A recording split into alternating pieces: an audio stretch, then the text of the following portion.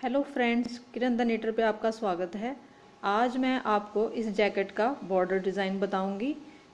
ये डिज़ाइन बहुत ही सुंदर है और सब बॉर्डर डिज़ाइन से हटके है। आप डालिए, बहुत सुंदर लगता है।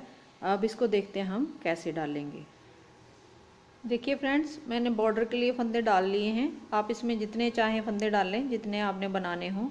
कोई कंपल्शन नहीं है। और इसमें मैंने 11 नंबर की सिलाई यूज़ की है। अब देखते हैं इसको कैसे बुनते हैं। इसमें पहली सिलाई जो है फ़र्स्ट रो में आप एक सीधा फंदा, देखिए, और एक उल्टा फंदा, फिर एक सीधा, एक उल्टा,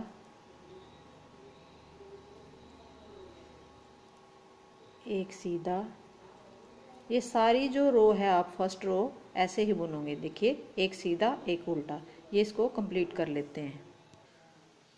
देखिए फ्रेंड्स मैंने फ़र्स्ट रो कंप्लीट कर ली है। इसमें लास्ट में हमारे पास, देखिए, सीधा फंदा आया है। तो अब दूसरे तरफ़ देखते हैं हम रोंग साइड में।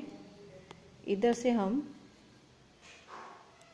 सीधा फंदा आया तो इधर उल्टा है तो हमें उल्टा ही बुनना है इसको। देखिए, उल्टा बुन लिया। फिर इसको अगले को सीधा बुन लिया। फिर उल्टा बुन लिया। फिर सीधा बुन लिया। देखिए ऐसे। सीधे पे सीधा आ जाएगा, उल्टे पे उल्टा आ जाएगा। ऐसे ऐसे आना चाहिए ये आपको ना। ये सारी जो रो है हमें, ऐसे ही कंप्लीट करनी है। देखिए ये उल्टा दिख रहा है ना, आप इस पे उल्टा ही बुनिए। और सीधा दिख रहा है ये ये देखिए, आप इस पर सीधा ही बुनिए।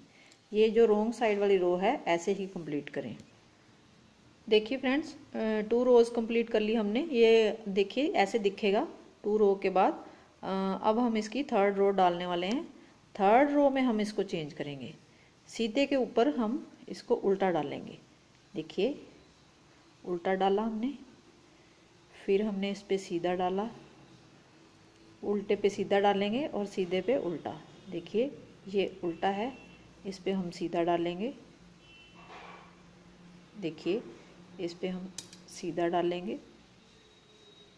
देखिए, ये सीधा है, इस पे हम उल्टा डालेंगे। ये लाइन जो है, रो पूरी, ऐसे ही हम कंप्लीट करेंगे। देखिए फ्रेंड, थर्ड रो हमने कंप्लीट कर लिया इसमें हमारे पास लास्ट में उल्टा आया है। अब हम फोर्थ रो में आएँगे। ये फोर्थ रो हमारी उल्टी वाली साइड है।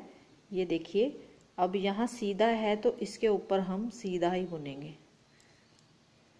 देखिए, ऐसे, सीधा बुन लिया। अब यहाँ उल्टा दिख रहा है तो इसके ऊपर हम उल्टा ही बुनेंगे। देखिए, यहाँ सीधा है ये।